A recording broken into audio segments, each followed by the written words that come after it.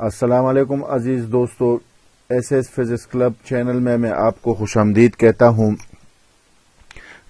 आज जो C T I T का पेपर था तेईस जनवरी 2021 को वो मैं आपके लिए हल कर रहा हूँ और ये हमारे पास पिंक कलर का जो बुक था उसके पेपर है।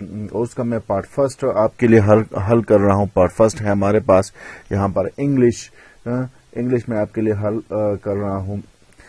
S S physics club channel को आप सब्सक्राइब करें। और अपने दोस्तों के साथ शेयर करें और बिल का आइकान जो है उसको भी आल पर आप क्लिक करें ताकि मुझे हौसला मिले और आपको अच्छी सी अच्छी वीडियोस मिलती रहे। पार्ट नंबर फ़र्स्ट जो है वो है वर्बल और वर्बल में हमारे पास हमने यहाँ पर मुख्तलिफ़ लफ्ज दिए हैं। उसके अपोजिट जो हैं, वो हमने अपोजिट मीनिंग वाले अल्फाज देखने हैं। एक लफ्ज यहाँ पर जो दिया है, उसके हमने क्या करना है? अपोजिट मीनिंग वाले अल्फाज देखने हैं। तो क्वेश्चन नंबर फ़र्स्ट जो है, वो हमारे पास फ्रेंडली तो फ्रेंडली यहाँ पर इन्होंने चार ऑप्शन दिए हैं। एल हेल्पफुल ए ऑप्शन है। बी केयरिंग है। सी हॉस्टल है। डी क्वाइट है। तो इसमें करेक्ट ऑप्शन जो है सी हॉस्टल क्योंकि हॉस्टल जो है उस वो हमें दुश्मनी को कहते हैं। तो फ्रेंडली दोस्ती तो हॉस्टल दुश्मनी। तो ये इसका करेक्ट ऑप्शन है। क्वेश्चन नंबर टू की जानब हम आते हैं। क्वेश्चन नंबर टू जो है वो है डिस्पैरेज क्या है हमारे पास? डिस्पैरेज डिस्पैरेज जो है हमारे पास आ, आ, अपने अपने आप के खिलाफ कर देना या मुख्तलिफ़ कर देना। इसमें जो इन्होंने ऑप्शन दिए हैं ए ऑप्शन दिया है belittle B please C press and D denigrate तो इसमें हमारे पास जो करेक्ट ऑप्शन है वो सी है प्रेस तारीफ़ करना। सही है क्वेश्चन नंबर थ्री की जानब हम आते हैं। क्वेश्चन नंबर थ्री हमारे पास वाइडली वाइडली हम कहते हैं वह सी को। तो यहाँ पर यहाँ पर जो करेक्ट ऑप्शन है वो है C that is narrowly narrowly हम कहते हैं तंग को तो ये हमारे पास इसका अपोजिट uh, हो गया। अच्छा क्वेश्चन नंबर फोर यहाँ पर एक पैराग्राफ दिया गया है। ये पैराग्राफ इसको पहले हम पढ़ते हैं इस पैराग्राफ को। फिर इस, इस पर हमें कुछ क्वेश्चन दिए हैं उसको हम फिर हल करते हैं।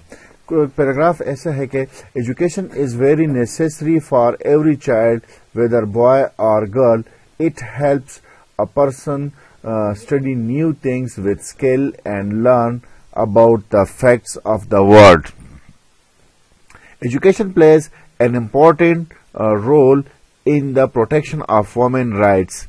It also helps to prevent discrimination based on gender. Education increases productivity in their work. An educated woman has skills, information, talent, and self-confidence that make her a better mother, employee, and resident of the country. Women constitute mm, almost half of our population, men and women, are like two aspects of a coin. Thus, they need equal opportunities to contribute to the development of the country. Both cannot survive without each other.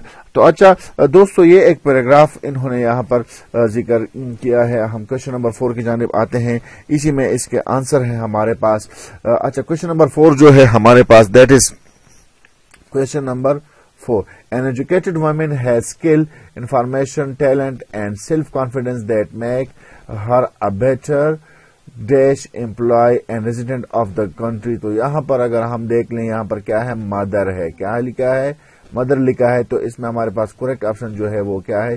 C that is mother चलिए question number five की जानब हम आते हैं। Question number five है हमारे पास that is education is an A noun है verb है एडवर्ब है एडजेक्टिव तो एजुकेशन क्या है?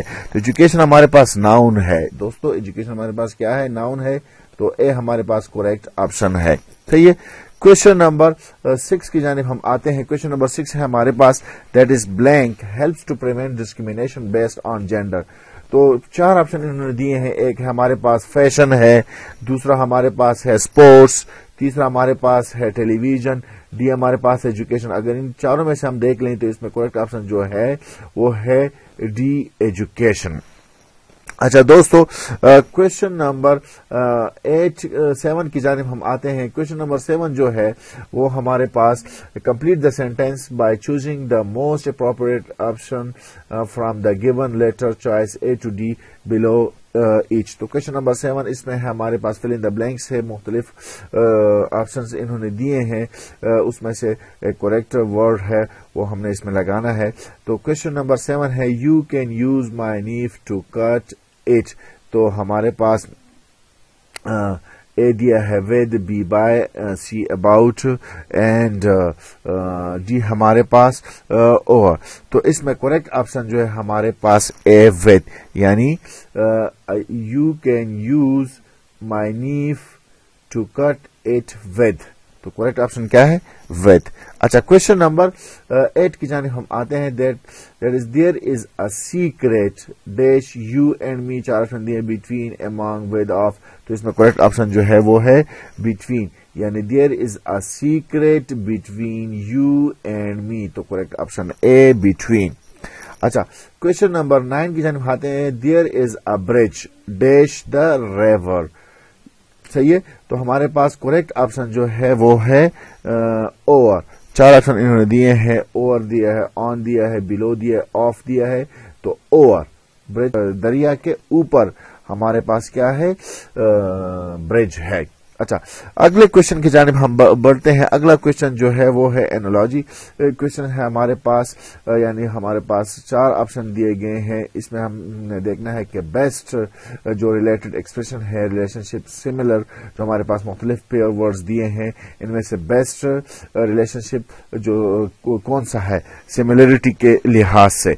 तो क्वेश्चन नंबर टेन हमें दिया है ग्रेन सॉल्ट तो इसमें करेक्ट ऑप्शन जो है, वो है चिप ग्लास यानी डी जो हमारे पास है करेक्ट ऑप्शन है that is chip glass grand salt तो chip glass question number eleven की जानब हम बढ़ते हैं.